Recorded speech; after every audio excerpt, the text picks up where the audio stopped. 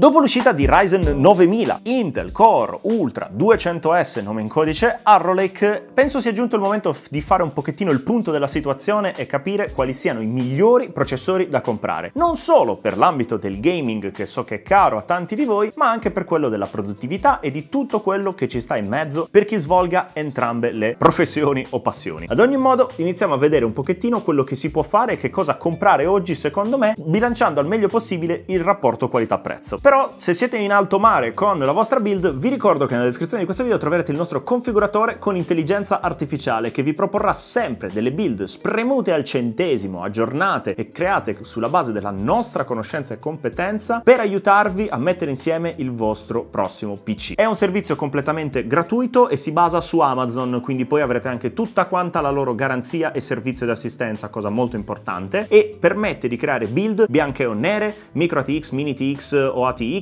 oppure di selezionare altre opzioni come preferenze su Nvidia, Intel o AMD, in base a quello che volete all'interno del vostro PC. Oppure potete semplicemente far fare a lui e vi creerà tutto spremuto fino all'ultimo centesimo. Il link è giù in descrizione e supportate questo canale dandoci feedback oppure semplicemente utilizzandolo e completando i vostri acquisti senza un centesimo di più. Ora parliamo un pochettino di questi benedetti processori. Iniziamo dalla fascia che so che interessa un po' a tutti, il gaming in quella che potremmo definire oggi fascia bassa, cioè processori che possono abitare magari la fascia dai 1000 euro ai 1500. Lo so che non è propriamente una fascia bassa per molti e non voglio dire che lo sia, però il configuratore vi aiuterà a fare le build sotto di questo budget. Siccome per la maggior parte del pubblico è un budget abbastanza richiesto, parto da questo. Sulla zona della fascia bassa quali possono essere i nostri candidati? L'altro giorno vi ho fatto un video dedicato a questo contesto e vi ho detto che effettivamente in questo momento se volessi fare una build bilanciata, pensata e ragionata, io vi direi di prendere il 7600 o il 7600X, processori che si allocano sulla piattaforma AM5 e che grazie a una semplice B650 e delle RAM da 6000 MHz di DR5 vi permettono di portare a casa una piattaforma che potrete portare poi avanti per ancora due o tre generazioni. Questo è un discorso molto importante che concludiamo a fine video. Ma il punto fondamentale è che AM5 in questo momento è la piattaforma più longeva, con più processori e con più possibilità in assoluto, ma soprattutto con all'interno molti prodotti molto validi e piattaforme che costano meno della concorrenza.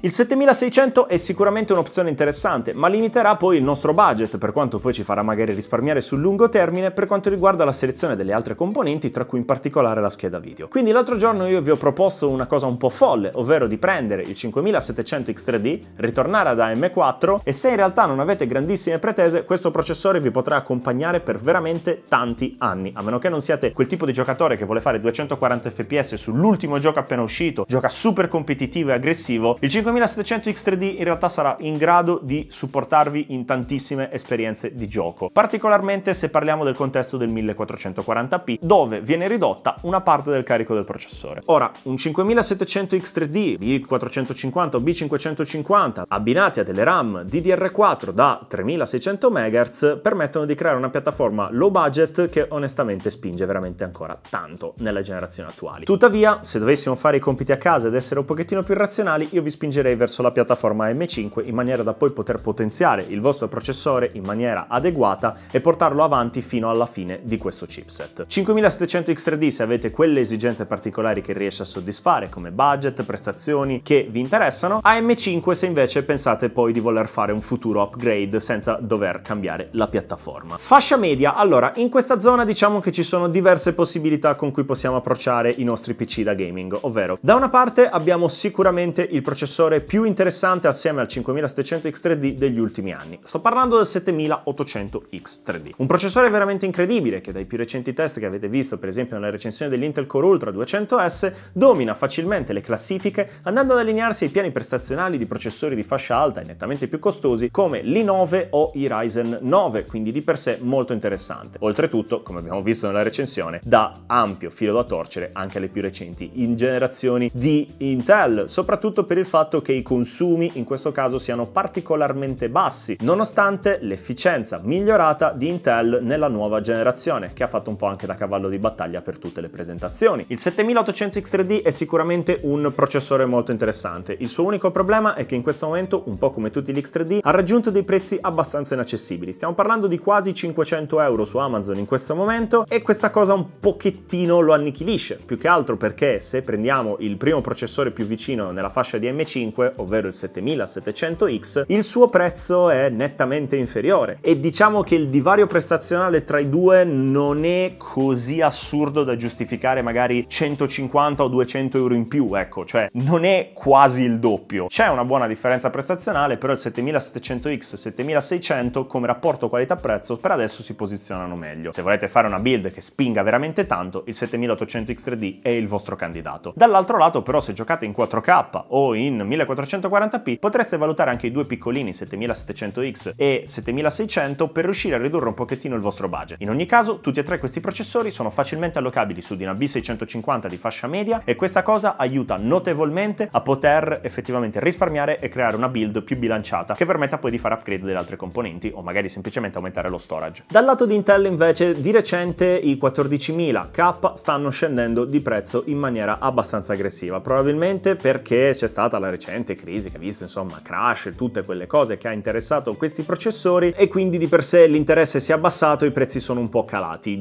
Diciamo che questi processori comunque si difendono bene, se prendiamo nuovamente i test più recenti dei, degli Intel Core Ultra 200S potete vedere come il 14700K per esempio, l'antagonista principale del 7800X3D, se la cavi particolarmente bene. Se avete in questo momento una piattaforma basata su LGA 1700, 1800, insomma eh, compatibile con i 14000 e magari avete un processore come un i5 12400, prendere un 14600K o 14700K potrebbe essere l'addio ideale per questa piattaforma prima di fare un vero salto di qualità, che in questo momento non è assolutamente garantito dagli Intel Core Ultra 200S di Arrow Lake, piuttosto dalla prossima generazione, non quella del refresh di Arrow Lake, ma da quella successiva, Nova Lake, che dovrebbe essere appunto la prima generazione con processo produttivo 18A e fare veramente il grosso salto per Intel. Diciamo che prenderli stand alone in questo momento garantisce un piano prestazionale che più che altro privilegia chi giochi in 1080p, magari in maniera super aggressiva e competitiva. In generale potete notare da questi grafici che l'esperienza del 1% low su Intel è un po' più stabile rispetto ad AMD, nonostante questa si posizioni meglio come FPS. Quindi di per sé potrebbe essere interessante prendere questi processori qualora stiate cercando di bilanciare al meglio possibile questa piattaforma. Tuttavia con i recenti problemi di crash diciamo che un pochettino i 14.000 secondo me hanno perso appeal e non andrebbero valutati più di tanto a meno che non si stia facendo un ultimo upgrade. Potrebbero essere interessanti ma il loro costo diciamo che non è neanche così tanto assurdo fuori da qualche evento che magari ha fatto calare un pochettino la combo di scheda madre e processore. Personalmente non sono un grande fan di Intel in questo momento. Hanno avuto i loro momenti di gloria però al momento AMD con Ryzen garantisce un qualità-prezzo migliore su tutta la categoria, dall'inizio della fascia bassa alla fascia più alta. Diciamo che questa fascia media compone anche quella che è la fascia alta, perché di per sé se arriviamo alla fascia alta per una build probabilmente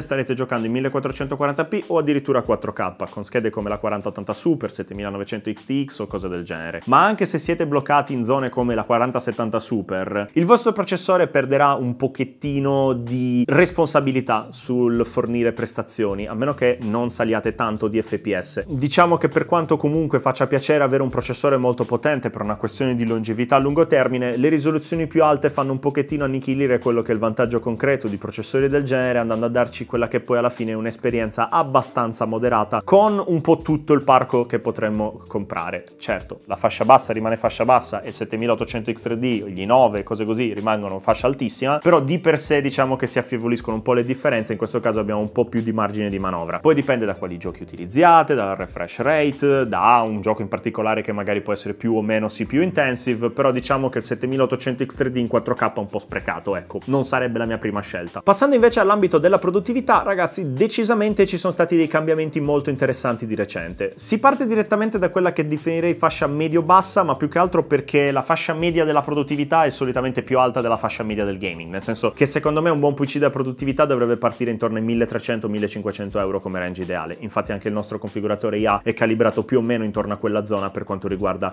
il budget minimo che sentiamo di consigliare al nostro pubblico. Di per sé per quanto riguarda la produttività bisogna fare prima di tutto una grossa premessa. Negli ultimi anni i processori stanno perdendo importanza nell'ambito del video editing, ma soltanto in quello. Se utilizziamo un portatile come per esempio questi MacBook che hanno un processore e basta, usano un SoC per fare tutti i calcoli di GPU, CPU e integrano eh, la RAM di sistema come VRAM, effettivamente il processore sarà importante ma perché parte di un ecosistema che svolge i calcoli. Però nel momento in cui abbiamo un PC desktop al 90% non avremo soltanto il nostro processore, ma sarà accompagnato spesso da una scheda video. E di recente tutti i programmi programmi DaVinci, Vegas, Premiere e compagnia utilizzano maggiormente la scheda video per eseguire la maggior parte dei calcoli più eh, importanti, dal render all'encoding a una maggioranza dei calcoli e microcalcoli che si fanno durante l'esperienza. Nell'ambito di Photoshop invece il processore ha un'importanza maggiore perché nel fotoritocco, nella grafica e cose del genere sono molto più importanti i processori in sé perché la tipologia di calcolo varia. A meno che non si parli di generazione di immagini con intelligenza artificiale non accelerate su server ma in locale, di per sé i processori svolgono ancora un ruolo molto importante in questi ambiti ed è bene effettivamente sottolineare, come per esempio in questi grafici, come AMD in quest'ambito abbia un vantaggio veramente molto molto importante. Questo è estratto utilizzando il benchmark di Puget che effettivamente svolge la maggior parte dei calcoli che un grafico o un qualcuno che lavori con le foto si possano trovare a fare nel contesto del proprio lavoro quotidiano. Tornando a noi, ragazzi, allora per quanto riguarda i video editor, pertanto io vi dico non che un processore valga l'altro, però di per sé non è più il mondo in cui prendere un i9 faccia una differenza sostanziale rispetto a un i7, un Ryzen 7 rispetto a un Ryzen 9. Ci sono comunque dei benefici, per esempio nella classifica di Premiere potete vedere come il 9950X abbia un dominio completo, ma di per sé la maggior parte delle esperienze, ve lo dico per mia esperienza diretta, saranno assolutamente valide con un qualsiasi di questi processori. Potete stare tranquilli. La maggior parte dello sforzo sarà principalmente sulla scheda video. Mentre dall'altro lato, per quanto riguarda Photoshop e poi tutti i programmi di grafica che possono far parte del pacchetto Adobe, mi trovo a consigliarvi AMD perché in questo momento hanno un predominio prestazionale veramente importante, non solo rispetto all'ultima generazione di Intel che sicuramente deve aggiustare qualcosina perché qui le prestazioni proprio non ci sono, ma anche rispetto alle generazioni che invece potessero sfruttare maggiormente i consumi per riuscire a dominare questa categoria. Quindi di per sé un 7700X potrebbe essere per esempio un buon candidato per l'ambito del video editing da abbinare per esempio a una 4070 Super. Se la maggior parte del vostro lavoro si svolge invece nell'ambito dell'intelligenza artificiale, il mio consiglio è assolutamente di valutare le schede video di Nvidia perché hanno un predominio prestazionale veramente importante. Non si vanno a paragonare le top di gamma con le top di gamma, ma le fasce medie come la 4070 Super contro la 7900 XT o la 7900 XTX, il che è veramente notevole. Nvidia in questo momento ha un predominio totale nel contesto dell'intelligenza artificiale, delle sue accelerazioni e dell'inferenza in generale. Se arriviamo invece alla fascia alta, ragazzi, secondo me il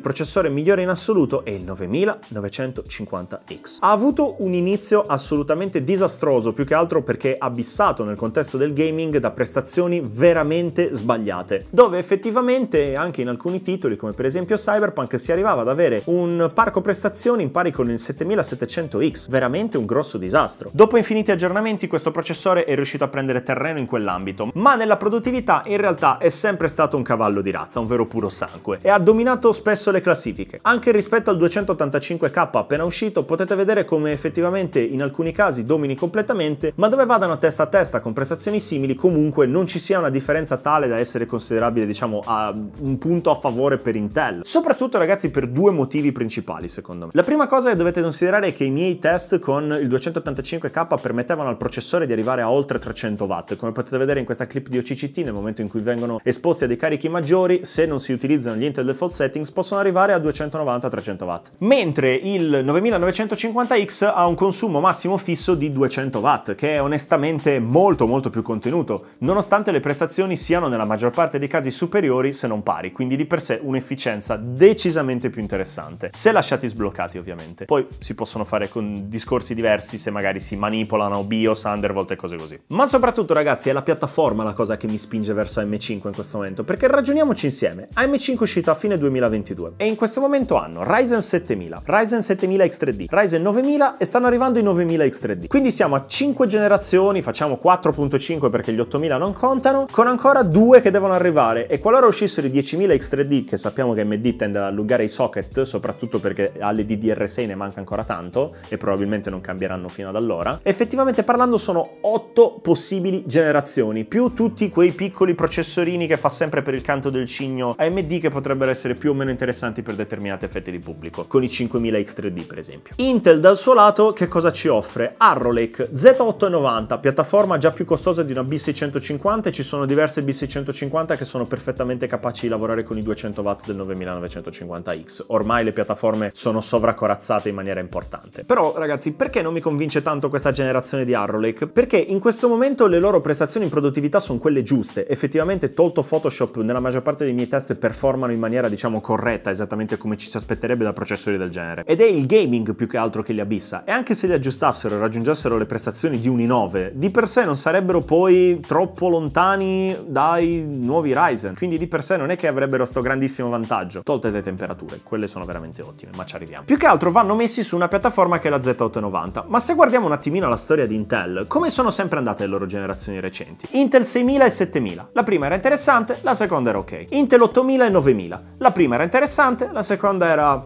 ok. Intel 10000 e 11000, la prima era ok, la seconda era meh. Ci hanno tolto due core sul processore, lasciamo stare veramente, meh. Gli 11.000 dimentichiamoci. 12.000, 13.000 e 14.000. La prima generazione è stata effettivamente una cannonata, ma più che altro perché arrivavano dagli 11.000, che quindi di per sé era facile fare bella figura. 14.000 non si sa neanche perché esistano. Oggettivamente parlando sono dei processori senza sapore, senza sale, senza niente al mezzo. Se non, appunto, quando scendono di prezzo in maniera talmente sensibile da contrastare AMD. Adesso, più o meno penso che abbiate capito il pattern. Quindi, se questa generazione è quella che tecnicamente sarebbe l'esplosione esplosiva, perché cambia l'architettura, cambiano i consumi e tutto quanto, vuol dire che il prossimo refresh anche se andasse bene con un più 10%, non è che ti sproni a cambiare da Intel Core Ultra 9 a Intel Core Ultra 9 o da 7 a 7 da 5 a 5. E la prossima generazione di Intel consistente sarà Nova Lake con i 18A, nuovo processo produttivo. E secondo voi Intel lascia quella generazione così grossa, potente e rivoluzionaria sullo stesso socket? Non c'è niente che ci suggerisca che sia possibile. O fate un salto della fede, credete in Intel e sperate che Nova Lake sia su questo socket, oppure dall'altra parte potete invece valutare la roadmap già esplicitata di AMD e dire che se comprate oggi un 9000, poi un canto del cigno con eh, per esempio i 10.000 X3D, se mai esisteranno i 10.000 soltanto, potrete farlo. O comunque prendere un X3D qualora vi interessi il gaming. Se potete cambiare di fascia in maniera consistente. Non dico che AMD